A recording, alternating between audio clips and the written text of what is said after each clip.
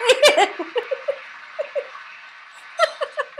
Come on, let's have a look. There's too many balls to begin with, so hmm. what I'm going to do is eliminate a few to makes the game a little bit easier to follow. So we have one ball there, one ball there. Darren, would you mind standing for me, please? Don't be embarrassed about your shirt. okay, Darren, how many Oh, balls are being help. used throughout? Three. Three. Right, I'm off to go make a Okay, coffee. so how many balls are underneath the middle cup? One. One. Okay. So if I eliminate this one from the game, how many balls will it leave left in the game? Two. Correct. But if I eliminate this one from the game, how many balls will it left in the game? One. And where is it? In the middle. In the middle. There you are. I put this one away. But how come, Darren, this one's back so quick? Well, I'll tell you, Darren, because what I do is slide of hand. I don't take the ball and put it here.